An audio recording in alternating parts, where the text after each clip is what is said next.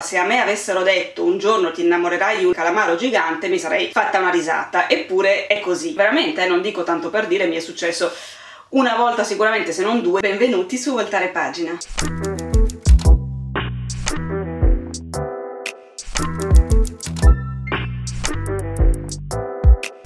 Tutti e benvenuti o ben ritrovati sul mio canale, io sono Manuela, se questa è la prima volta che passate da qui mi raccomando iscrivetevi subito, io sono molto contenta di ritrovarvi oggi con un nuovo video stagionale. Nel video di oggi infatti vi darò qualche consiglio di lettura specifico per l'estate. Si tratta di libri che ovviamente vi consiglio a prescindere dalla stagione, però insomma che per un motivo o per l'altro mi sembrano particolarmente adatti per una lettura estiva. Vi parlerò brevemente, rapidamente di 5 libri e poi alla fine vi darò un consiglio supplementare, un bonus per così dire per chi avrà avuto la pazienza di restare con me fino alla fine del video. Allora, per molti di noi l'estate è il momento dell'anno in cui magari si ha un po' più di disponibilità di tempo per leggere, non solo per chi ha la fortuna o la possibilità di avere delle vacanze, ma anche perché comunque le giornate sono più lunghe, insomma il ritmo di vita è diverso e molti di noi tendono a dedicare più tempo alla lettura durante l'estate. Per altri è vero il contrario, eh, per carità, perché voi sapete non ci sono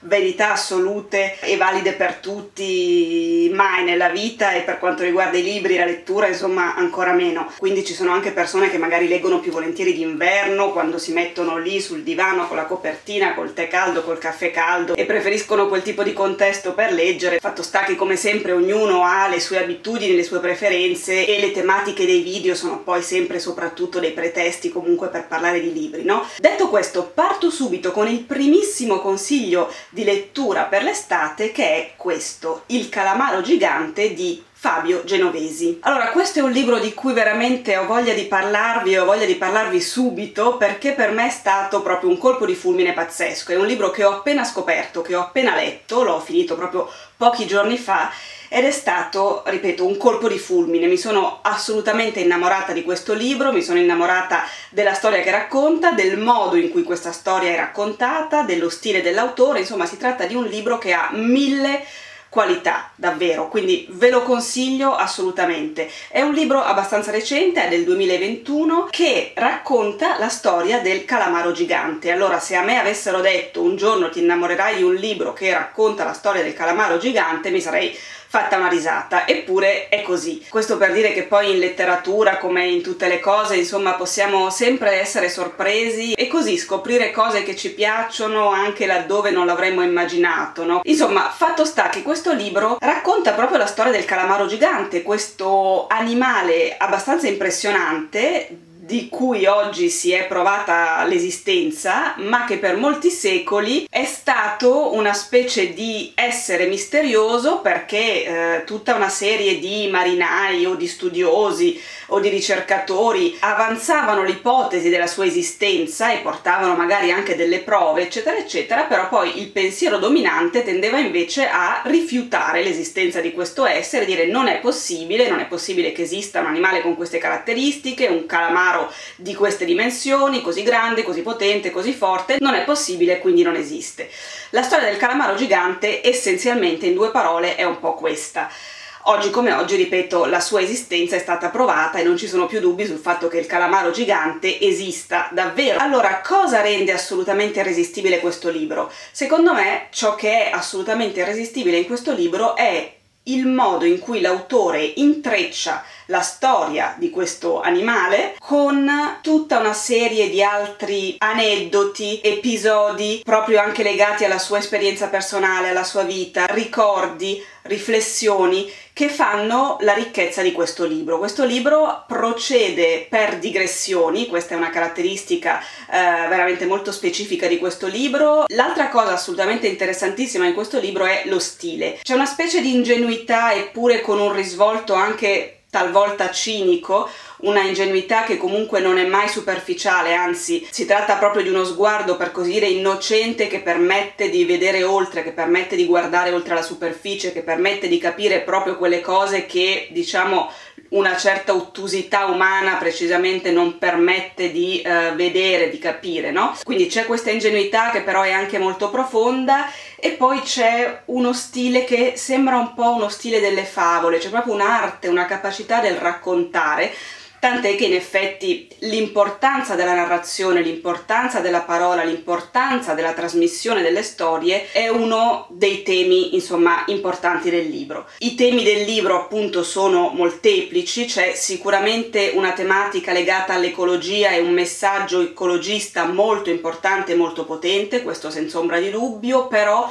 questa tematica ecologista non è assolutamente l'unica tematica, anzi ci sono tanti altri temi importanti, quello che ho appena citato, cioè l'importanza delle storie, della trasmissione della narrazione, ma anche eh, un'analisi che viene fatta da un punto di vista dell'ingenuità della purezza ma che in realtà è spietata su determinate caratteristiche dell'uomo e cioè appunto su una certa ottusità dell'uomo. Questo libro è una critica direttissima all'incapacità dell'uomo di guardare oltre le superfici, di guardare oltre le apparenze, è una critica all'incapacità di immaginare, all'incapacità di credere nelle cose che fino a quel momento non sono state possibili. Quindi l'autore dice il calamaro gigante esiste ed è esistito per secoli e per secoli ci ha dato prove della sua esistenza mentre l'uomo si impegnava a dire che non esisteva. E quindi ecco c'è una critica appunto a questa incapacità dell'uomo,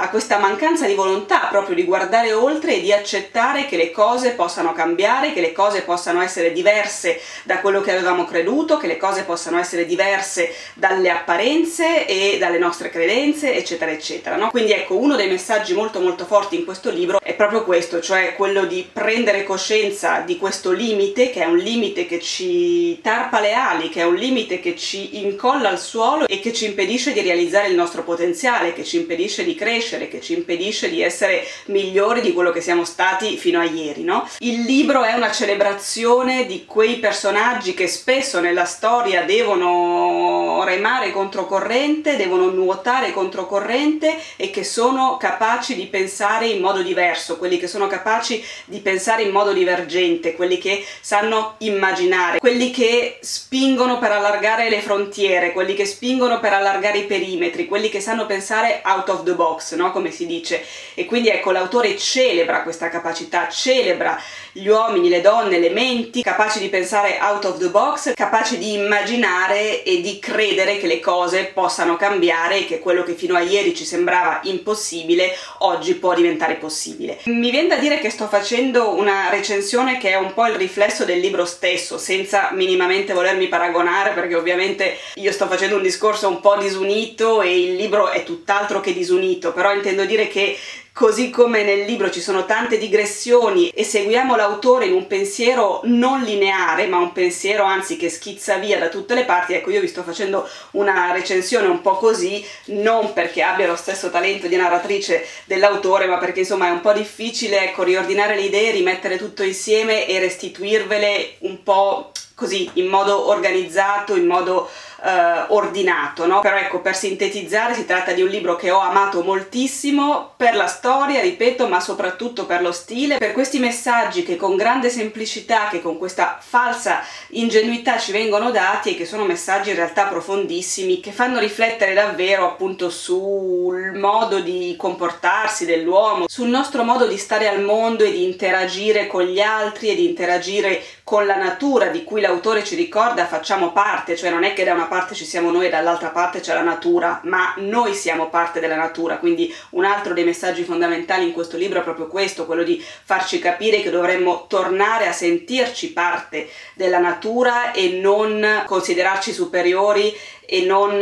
guardare la natura dall'alto come se fosse qualcosa di separato e di diverso da noi. Quindi ecco, questo è un libro che ho inserito nei miei consigli di lettura per l'estate perché in questo libro si parla di mare. In realtà questo è un libro che vi consiglio sempre, che vi consiglio per tutte le stagioni, però ecco, eh, in questo libro si parla molto di mare, ovviamente non di mare dal punto di vista turistico, non di mare come località di villeggiatura, ma di mare proprio come luogo appunto affascinante e misterioso in cui vive scrive Il calamaro gigante. Ora, per i prossimi libri, per i prossimi consigli di lettura, sarò un po' più sintetica perché si tratta di libri che ho già avuto occasione di citarvi in altri video, quindi insomma ve ne parlerò brevemente e vi rimanderò poi ai video precedenti. Allora, il secondo consiglio di lettura che voglio darvi per questa estate è Sostiene Pereira di Antonio Tabucchi. Questo è un libro per me molto estivo, eh, un libro che io effettivamente associo all'estate banalmente e semplicemente perché la storia del romanzo si svolge nell'agosto del 1938, quindi la storia si svolge in estate e abbiamo un protagonista che oltretutto esprime molto spesso il fatto che ha caldo, il fatto che suda, eccetera, eccetera, no? E poi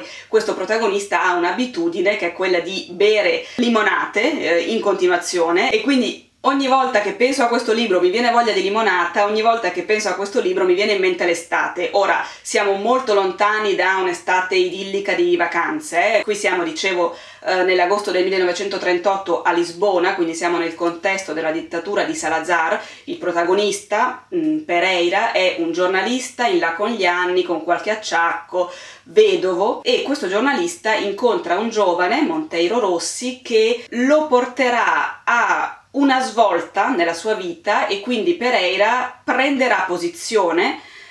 eh, cosa che non aveva fatto fino a quel momento, intendo dire proprio politicamente, non vi dico i dettagli, non vi dico come, ovviamente per non fare spoiler, però ecco, questo personaggio conoscerà appunto un'evoluzione che lo porterà a prese di posizione e a scelte importanti. Il libro successivo che voglio consigliarvi per quest'estate è questo, Il primo sole dell'estate di Daniela Raimondi. Ovviamente questo libro ha l'estate già nel titolo, quindi ve lo consiglio sostanzialmente per questo, ma non solo per questo, ve lo consiglio perché è un libro che mi è piaciuto, che sono contenta di aver letto e perché si tratta di un libro che sta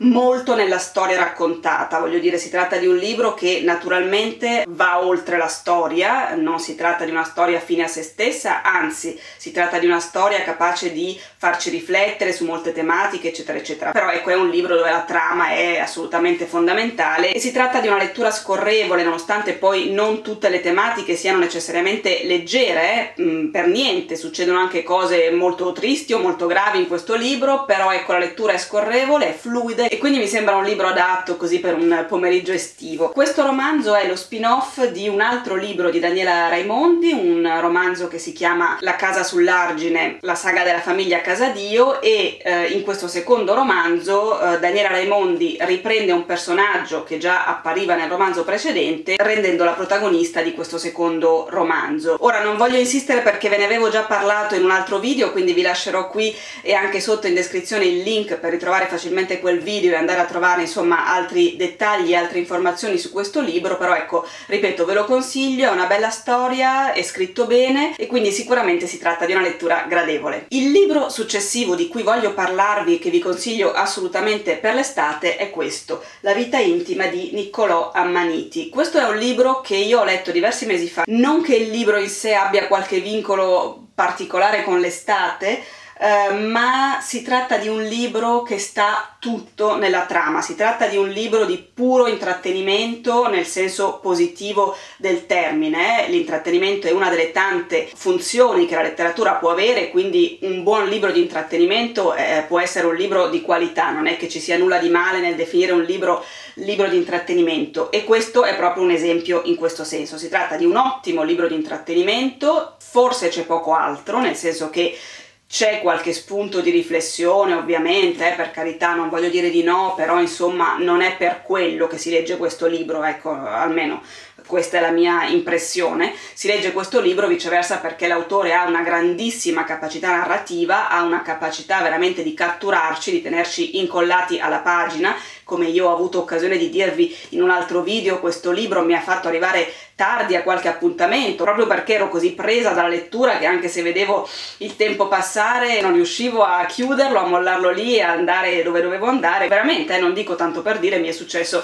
una volta sicuramente se non due di arrivare tardi a un appuntamento perché stavo leggendo questo libro e non riuscivo a mollarlo. Quindi ecco questo è un grande talento una grandissima capacità che io riconosco sicuramente a questo autore in questo libro se non altro perché di suo ho letto solo un altro libro ma tanto tempo fa eh, io non ho paura e ricordo vagamente che mi era piaciuto però ecco è un ricordo talmente sbiadito che non potrei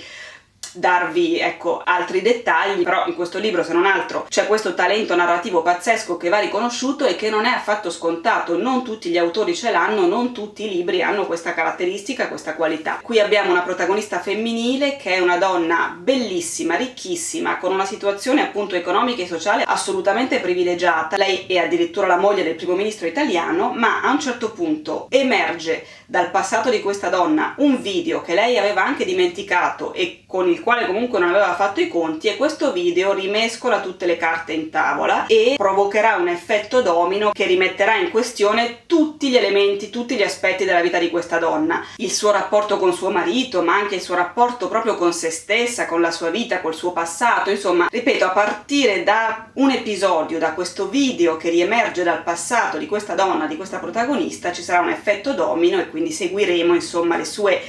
avventure e le sue disavventure e davvero le seguiamo con partecipazione insomma ecco. Quindi questo mi sembra un libro perfetto per l'estate perché non si tratta di un libro che eh, richiede necessariamente grandissima concentrazione o che ci fa poi riflettere su tematiche esistenziali profondissime. Si tratta di un libro estremamente piacevole da leggere, estremamente piacevole. A questo libro avevo dedicato un video intero, una recensione intera, quindi vi lascio qui sopra e anche sotto in descrizione il link per ritrovare la recensione di